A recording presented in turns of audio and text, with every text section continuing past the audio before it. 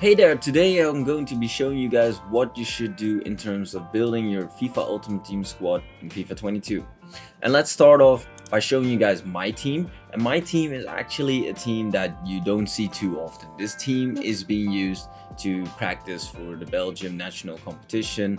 It's kind of uh, like the E-Premier League, but then the Belgian version. But what is important to this? You have to take a look at these players. Um, I've got Fellaini as a CDM, uh, mainly as an output CDM. He has 80 defending, but he's very tall, and he's going to be that midfielder that's more defensive minded. Then I'm going to have KDB as the other midfielder that is going to be offensively minded and, well, very balanced, obviously, because it's a team of the year. But mainly, you pick him because of his long shots, his dribbling, his passing, stuff like that. And then I've got four attackers Hazard, Bamba, David, and Mertens that I can actually play a couple of different formations with because David is go always going to be an output striker. Like he's just going to be the finisher for your team. So you always want to have two players that can play the striker position. That's Mertens in this case. I could go with Hazard as well, but I'd rather have Mertens because his pace isn't the best. So if he's in that central position already and playing as a striker or maybe as a cam even, he's going to be perfect. Because on the other end, Hazard has good pace and yeah, he's better down the wing in my opinion. Together with Bamba, they can play in different positions, but mainly in the winger positions.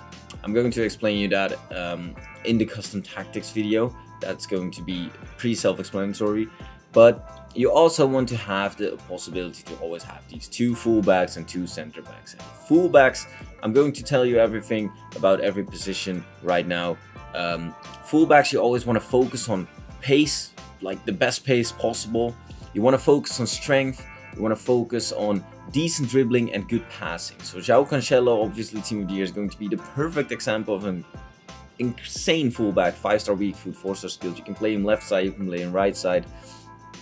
But he has good pace, he has good height, he has good strength, well, not the best, but decent enough, 80 plus. You want to be looking at at least 80 to, um, to even 90 plus strength um, because you want to bully those wingers. They usually aren't the most physical players, but they are really fast. So a good passing or, or attribute is also pretty important for your fullbacks because you want to be able to sometimes put the wingers in on that side. For center backs, you always want to focus on center backs that have at least 85 plus pace in this FIFA because there are plenty of them. You want to focus on a lot of strength as well, good acceleration, good sprint speed. If ideally they are both in the same kind of category, so you want to be looking at a player with, a, for example, 85 acceleration and 85 sprint speed, that would be ideal.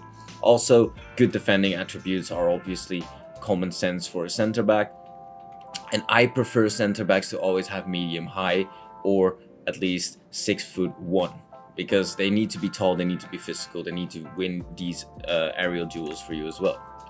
So then Denayer, he's six foot oh, should be okay as well, but that is like this is the perfect example for the acceleration and sprint speed um, stats that you should be looking for for your center backs.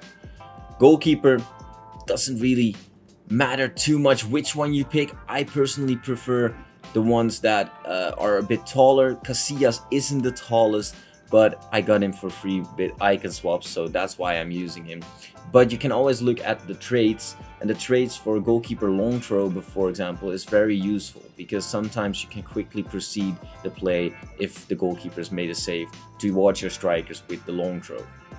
Also, saves with feet is a very good trait, so if you have a goalkeeper with that, then you should be fine. And like I said, if you are going to play four attackers, then you always want to have the wingers that just focus on dribbling attributes, good skill moves, good weak foot, and a lot of pace. Bamba here, for example, is just some cheap card that has 4-star skills, 4-star weak foot, which is very nice, good dribbling attributes, good passing as well, because if they're playing on the wing, you want to focus on passing as well, I almost forgot. Really solid card. And for a striker, like Jonathan David. Oh, let me just quickly go. Jonathan David, he is a very very good finisher. He has 94 finishing, can boost that up to 99 with a, with any chemistry style pretty much as attacking minded, and 5 star weak foot which is very important. You want to focus on 5 star weak foot as much as possible. If you can get players with 5 star weak foot that have good attributes as well for that position, you want to get that. 3 star skills only, but hey, it's only for the show, right? If you want to use skill moves. Mertens, for example, this is going to be the card that can play striker as well, but can also play the cam role. So let's get on to the custom tactics in the next video.